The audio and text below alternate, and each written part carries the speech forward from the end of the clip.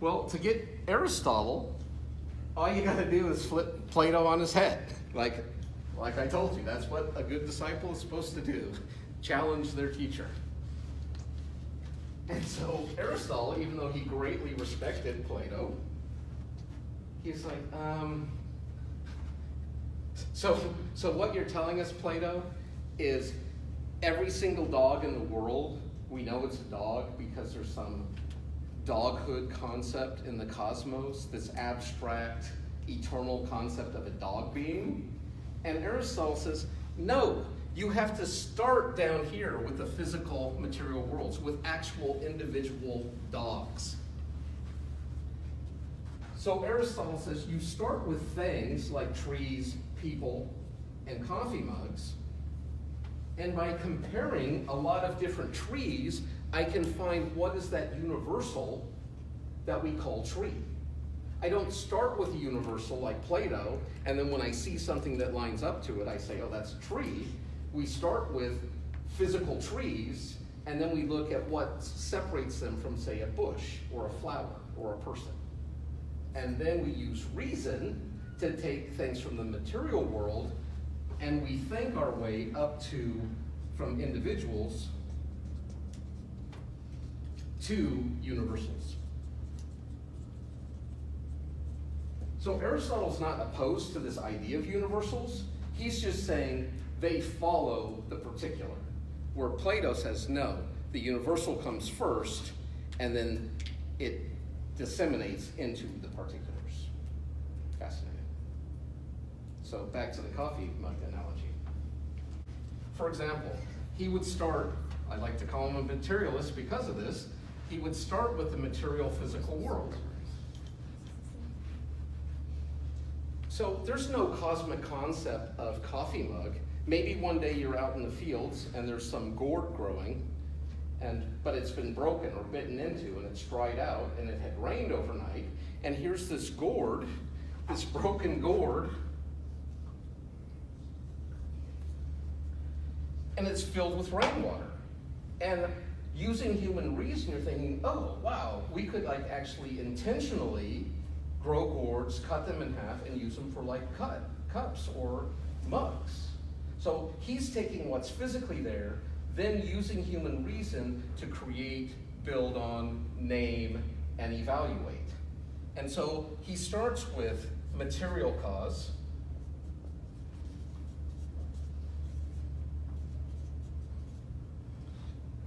So in this case, the material cause here would be clay, or in this case, metal we're starting with the ancient Greeks with these building blocks, these material substances.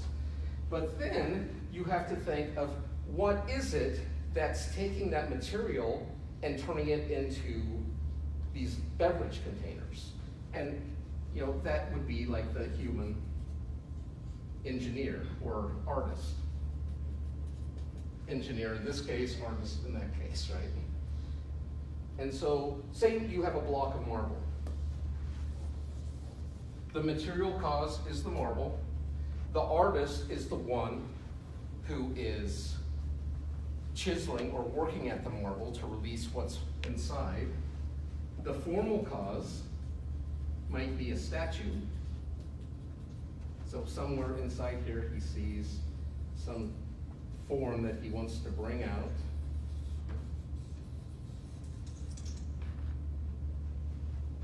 And then the final cause it might be like an offering or memorial. Something to put on a temple or on a, on a gravesite. And so he's seeing it in these terms.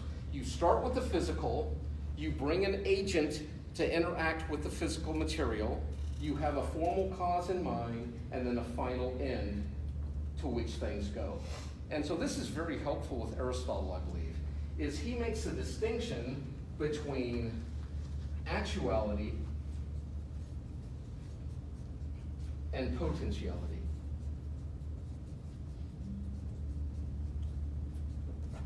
So, for example, an acorn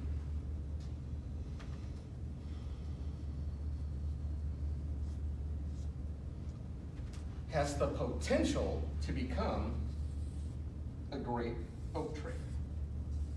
An acorn is not an oak tree, but it has the potentiality to become one.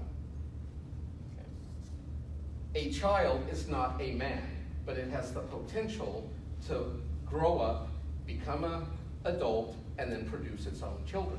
And so that would be like, what is the end goal of an acorn? I would assume it's to become a tree to produce more acorns. A human to grow up, become an adult, replicate into the future. That would be an actualized human in this example. So Aristotle, if he's evaluating these two mugs instead of Plato, he's going to look at form and function. He's going to say, well, this looks like a beverage container. It feels like a beverage container. It smells, it tastes like a beverage container. It's functioning as a beverage container. Ipso facto, it must be a beverage container.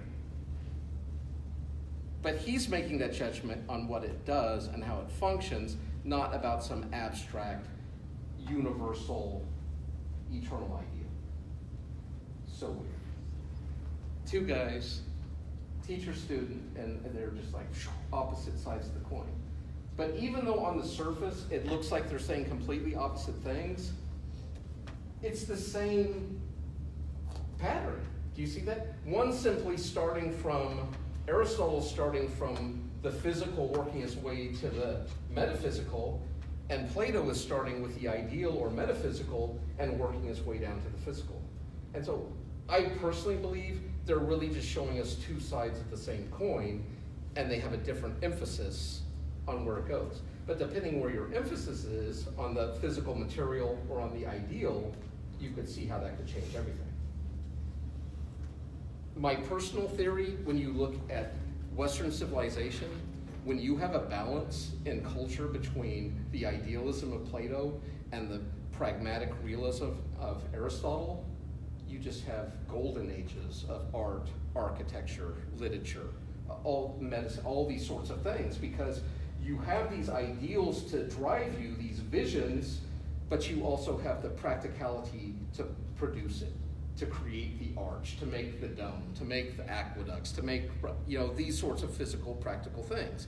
It's not just a con concept. Now, if it just becomes conceptual, you can end into this like mystical where people are sitting staring at the ends of their noses because they're just living in their heads. Because why come out into all this brokenness when the perfection is in here, right? Inside. Or if you're only materialistically minded, it becomes kind of base and trite and shallow when there's nothing deep or transcendent to go with your physical productions. But we see this again in like the late Middle Ages. It's called the High Gothic period that's my favorite period of art architecture. It's just, but it's where Plato and Aristotle have once again kind of come together. And then materialism, Aristotle's view kind of took over in the modern era with modern science, all that sort of stuff. But I believe we are living in a time where there's been like a Platonic idealistic revival. And I think you're seeing a lot of that creativity and stuff coming from that blend of the pragmatism with the idealism.